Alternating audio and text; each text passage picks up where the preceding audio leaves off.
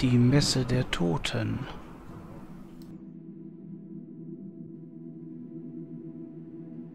Eine Frau aus dem Kirchspiel Kurl hatte sich mehrere Jahre hintereinander zur Uchte stark verspätet.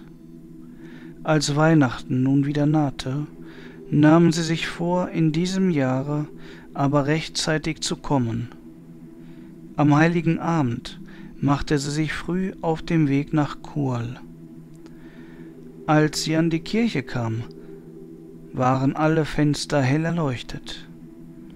Ärgerlich, doch schon wieder den Beginn des Gottesdienstes verpasst zu haben, trat sie in das Gotteshaus und begab sich auf ihrem gewohnten Platz.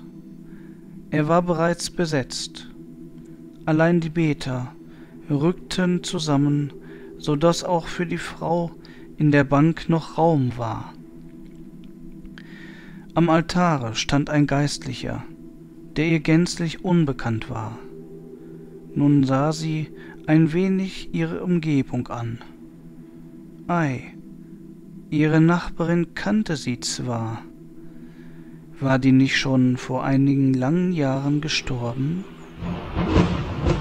Sie entdeckte noch einige Bekannte unter den Andächtigen, aber alle waren schon vor langer, langer Zeit begraben worden. Da packte sie die Angst.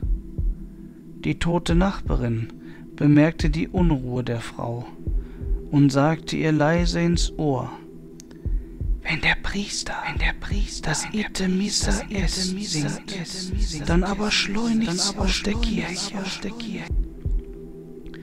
Die Frau erhob sich sofort und drängte zum Ausgang.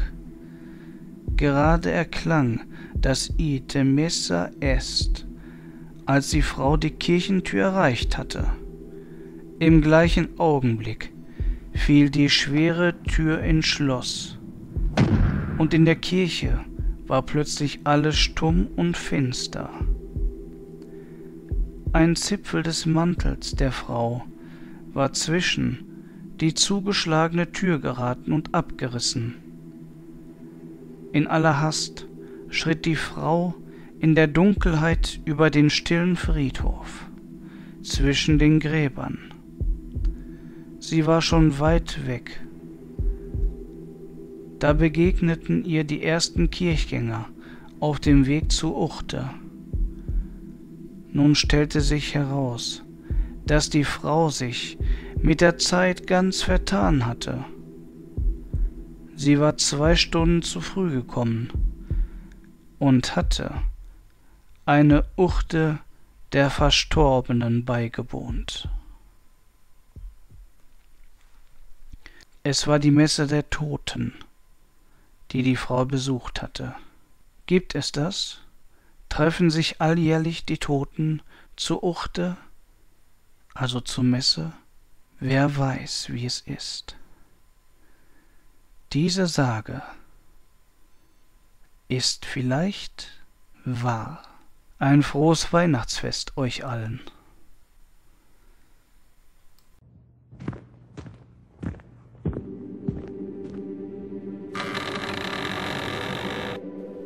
Ihr mögt also sagen gern. Bedenket, jede Sage hat einen wahren Kern.